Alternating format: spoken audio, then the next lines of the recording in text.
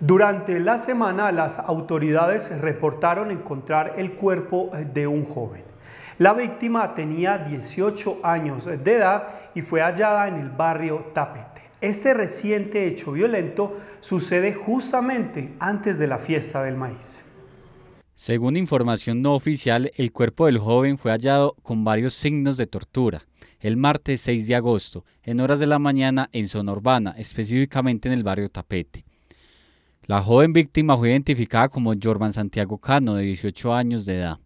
El municipio de Sonsón atraviesa una racha de violencia que pareciera no tener fin, y justamente el próximo fin de semana se espera que llegue una gran cantidad de visitantes durante la celebración de la fiesta del maíz teniendo presente que varios de los homicidios y atentados contra personas han sucedido en zona céntrica y a cualquier hora, surge la pregunta si el municipio tiene la capacidad de brindar seguridad al gran número de personas que habrá durante los próximos días.